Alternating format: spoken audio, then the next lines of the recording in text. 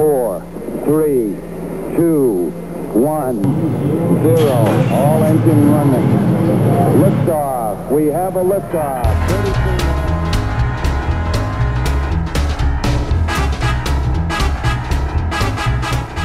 the technology that we're kind of showcasing within our museum, we're really trying to bring it home to Oklahoma because there really is just this gold mine of aviation and technological history in Oklahoma.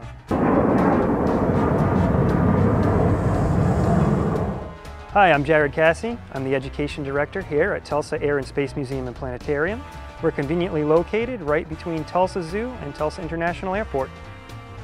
The newest thing we have that is growing in popularity is our MD-80 flight theater experience. It's a really cool, unique adventure where you can actually sit inside this airplane and go for a flight with this new technology that we developed especially for this and actually go for a flight and see surrounding Oklahoma from this airplane, but at the same time learn about some of the science behind the aviation industry. Most kids are going to be interested in coming out here and sitting inside an airplane. Uh, they all get very excited about that. Uh, anytime we have any kind of simulator experience where they can actually put their hands on the controls and take the yoke of an airplane, unless we have a flight lab up by our lobby, uh, that's something that they're always talking about.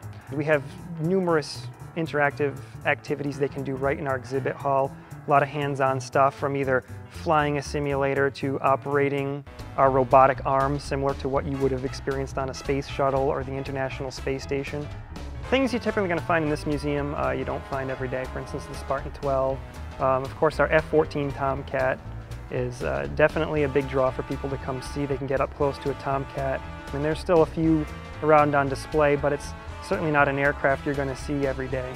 It's really cool to come in and see a lot of these we can tie to our local history and just to see examples regardless of their if they're flying or static display. It's just cool for people to point to and say, hey, look at that incredible piece of history. Oklahoma has always been kind of one of the the path makers, so to speak, in, in leading the way in aviation history. You know, you've had Wiley Post, who did remarkable things in discovering the jet stream inside his Winnie Mae. Will Rogers, you know, who's friends with Wiley Post, has always been a huge advocate of Oklahoma aviation and aviation in general as a means of transportation. So I think as far as uh, the golden age of aviation, Oklahoma ranks pretty high up there within our nation of where a lot of it started.